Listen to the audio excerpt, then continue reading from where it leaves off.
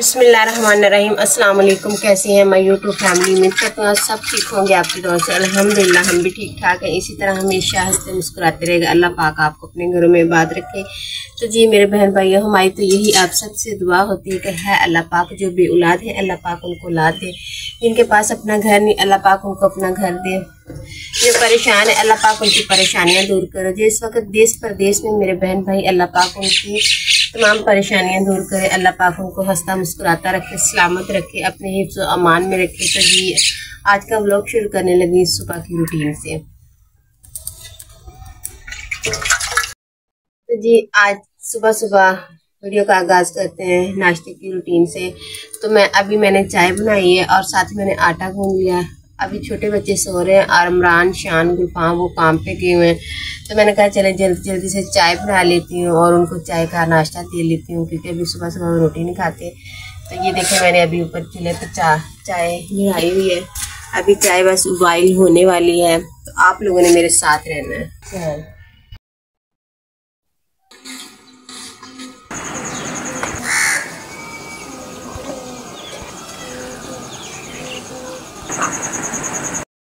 सवेरा के सामने ना हम लोग इस तरह की बातें नहीं करते क्योंकि बच्ची है ना, फिर उसका दिल जो है ना बहुत छोटा अभी।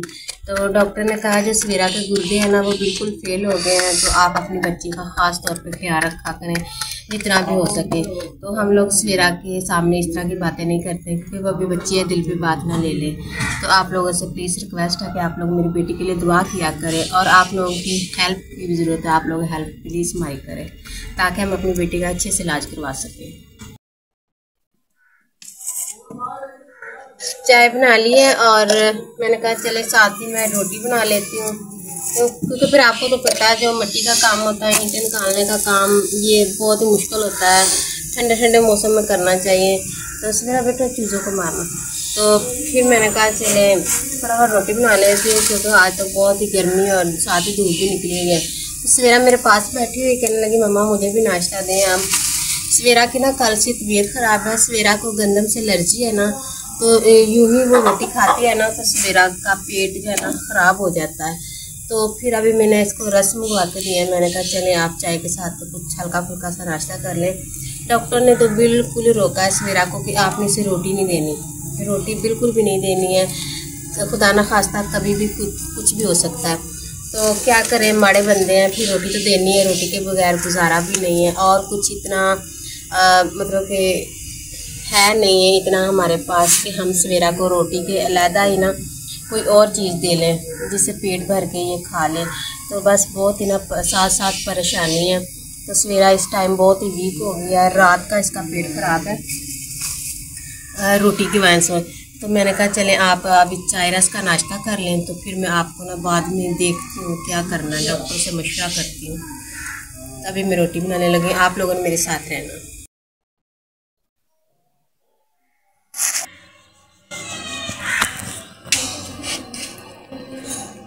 अल्लाह माफ़ी अल्लाह पाक मेरी बेटी को शिफा दे।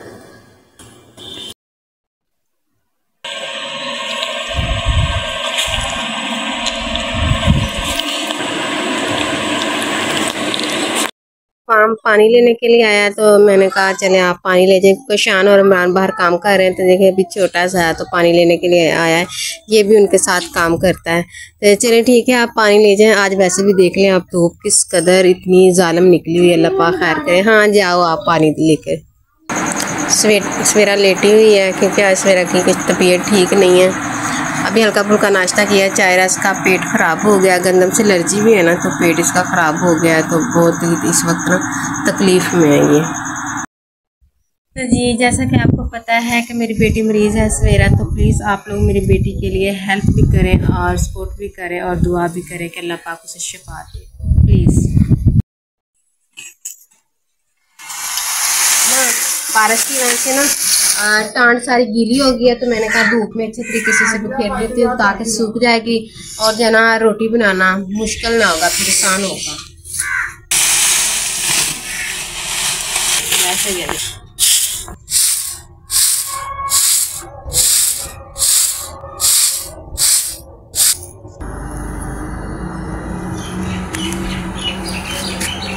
मेरा कपड़े भी ना काफ़ी धोने वाले इकट्ठे हो गए थे तो मैंने कहा चले आज थोड़े से ना कपड़े सरफ में भिगो कर रख देती हूँ, ताकि ठीक से धो धो लूँ मैं इनको। काफ़ी दिन हो गए हैं छोटे छोटे बच्चे हैं, फिर घर का, आपको तो पता है, बच्चों के साथ काम करना भी, घर का भी और बाहर का, ईंटों का भी काम करना बहुत मुश्किल हो जाता है तो फिर थोड़ा थोड़ा सा काम मैं साथ ही समेट लेती हूँ। मेरे ना जो बर्तनों वाला स्टैंड है ना स्टैंड कह लें या फिर टोकरी कह लें, वो मेरे पास नहीं है, वो टूट गई है। तो जल्दी ले लूँगी। अल्लाह पाक गुंजाइश देगा तो जल्दी ले लूँगी। ये जो अखराज हैं ना वो नहीं पूरे हो रहे। इन इस तरह की चीज़ें जो मेरे पास नहीं है ना ये मैं जल्दी ले लूँगी।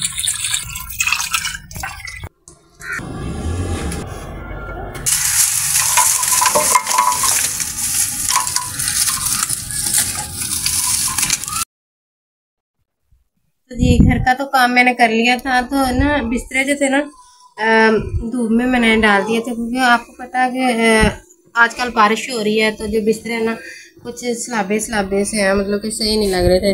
तो मैंने कहा, चलो धूप में डालते, खुश्क हो जाएँगे स्मेल नहीं आएगी। तो आज की वीडियो यहीं तक थी। उम्मीद करती हूँ कि आज की वीडियो आपको पसंद आई होगी। अगर पसंद आई होगी तो प्लीज़ प्यारा सा अपने नाम का उर्दू में कमेंट कर दीजिएगा वीडियो आगे शेयर कर दीजिएगा, जो हमारे चैनल पर न्यू है, इस वक्त प्लीज़ हमारे चैनल को सब्सक्राइब कर लीजिएगा, ताकि हमारे हर आने वाली वीडियो आप तक बसानी पहुँच सके। अब हम आपसे लेते हैं इजाज़त, अपनी दुआ में वो याद रखिएगा। अल्लाह हाफ़